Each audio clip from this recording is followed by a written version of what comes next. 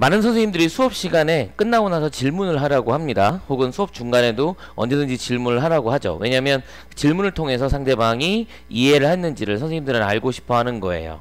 이 교수의 예시도 마찬가지입니다. 한번 공식적인 질문자 official questionnaire 구문 독해 바로 시작해 보도록 하겠습니다. 문장 시작할까요? Every day 매일 내 수업의 첫날에서 Every day in each of my class 나는 랜덤하게 select two student 두 학생들을 선정한다. 동사로 이렇게 select가 나왔고요. who are given이라고 관계사로 나와 있습니다. are given the title of officer questionnaire 즉 공식적 질문자라고 하는 타이틀을 받게 되는 두 학생들인 것이죠. are given이기 때문에 내가 주는 것이 아니라 주어지는 거예요. 문장에서 give란 동사를 생각해 봅시다. give란 동사는 기본으로 IO와 DO 즉 사형식 동사이기 때문에 목적어가 두 개라서 수동태를 만들 경우에 앞에 있는 IO나 DO 둘 중에 하나가 앞으로 가겠죠. 그리고 수동이 되면 기, 비기분이 되는데 앞에 있는 IO 즉 간접 목적어가 주어 자리로 오게 되면 남아있는 DO는 그대로 남게 되는 거예요. 그래서 누구에게 주어졌죠? 두 학생인데 두 학생에게 주어진 것은 바로 공식적 질문자라는 타이틀을 받아들였다 라고 생각해 봤을 때 여기 나와 있는 비기분이 수동이면서도 뒤에 나와 있는 나머지 목적어 있다는 걸 기억을 해 두셔야 되겠습니다. 돌아와서 공식적 질문자 돌아옵니다. 공식적 질문자라고 하는 타이틀을 받게 되는 두 학생들이 있었죠. 이 학생들은 are assigned 또한 할당받게 됩니다. are assigned the responsibility. 요것 또한 방금 전에 얘기했던 오형식 문장처럼 사형식 문장처럼 할당을 한다면 누구에게 무엇을 할당시켰겠죠. 그래서 responsibility가 되어진 거라고 보시면 됩니다. to ask at least 적어도 한 개 정도는 질문을 하게 되는 의무가 되는 거죠. 수업 동안에 적어도 하나 정도의 질문을 해야 되는 의무가 그 아이들에게 할당된 것입니다. After being the day's official questionnaire 그 하루에 질문자가 된 다음에 What am I student? 내 학생 중 한 명이었던 Carrie가 visit me in my office 사무실로 나를 방문하게 됩니다.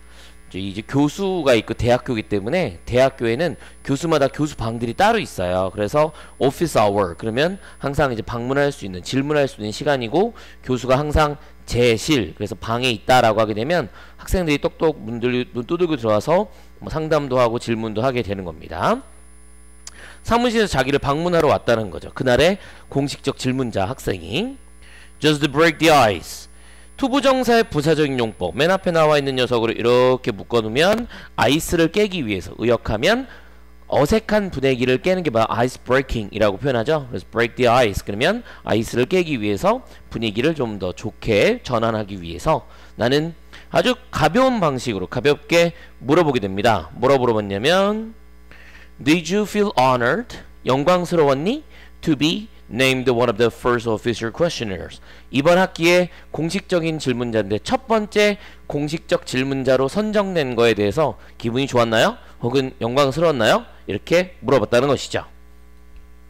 In a serious tone, 근데 이 여자애가 아주 심각하게 answer that, 대절이라고 얘기를 하게 됩니다.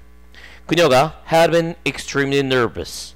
앞에 나와 있는 거는 과거, 뒤는 had been. 왜냐하면 답을 한 시점보다 had pp로 과거에 있었던 거, 당시에, 그 전에는 긴장했어요 라고 지금 답을 하는 거죠. 그래서 한 시제 앞섰기 때문에 had pp, 완료 시제를 써준 겁니다. 상당히 긴장했습니다. When I pointed her, 그녀를 당시에 수업 처음에 어, 호명했을 때, 지정했을 때. 자, 이번 수업에는 두 명의 공식 질문자 있습니다. 수업 끝나고 무조건 질문을 하나씩은 하셔야 돼요. 라고 딱 지정했을 때는 허, 긴장했다. 이겁니다. 그리고 나서 during the class 수업 중 그녀는 felt differently from how she had felt during other lectures. 다른 걸 느꼈는데 how 이하가 느꼈다는 것이죠. 그녀가 다른 수업들 동안에 느꼈던 거랑은 상당히 다르다는 것을 느끼게 됐다라고 되는 것이죠. It was a lecture just like the others. 단지 그냥 다른 수업과 같은 수업이었다. 즉 내 입장에서 강사 입장에서는 매번 가르치던 수업의 일부였어요. 하지만 이번에는 그녀가 말하기로 she was forced to have a higher level 높은 정도의 consciousness 의식을 갖춰야 했다는 것이죠. She was more aware of the content 라고 나와 있고요.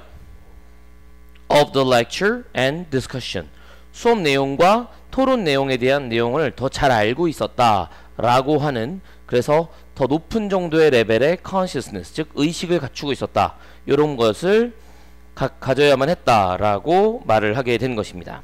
이 노란색은 정답의 근거로 혹은 빈칸으로도 나올 수 있는 부분이니까 한번 외워두시길 바래서 쭉 한번 적어봤습니다. 그녀는 또한 인정했어요. She had also admitted that 뭐라고? 으로 시간 that class 수업, 그 수업에서 더 많은 것을 결과적으로 얻게 됐다라고 마지막 결론을 짓고 있습니다. 중간에 나와 있는 부사 나왔고요. 대절에 어, 대절 이만큼 나온 문장의 절입니다. 그래서 as a result를 버리고 나면 that은 얻음이시라는 타동사의 목적어 그리고 명사절로 그녀가 그 수업에서 많은 걸 얻었다라는 것을 그녀가 또한 인정했다 이렇게 설명이 되고 있는 것이죠. 글 자체는 원래 순서 추론인 글입니다. 순서 추리는 추론 순서 추론의 내용물들을 이렇게 쭉 한 문장을 해보니 그렇게 큰 어려운 점이 없죠. 일치부일치 주의하시고 그리고 내용에서 이 여자애가 했던 말 그 부분이 처음엔 어땠는데 나중에는 오히려 많은 걸 얻게 됐다라고 하는 거니까 공식적 질문자가 얼만큼 장점을 갖고 있는가라고 설명한 글이라고 볼 수가 있을 것 같네요. 네, 여기까지 진행해 봤습니다.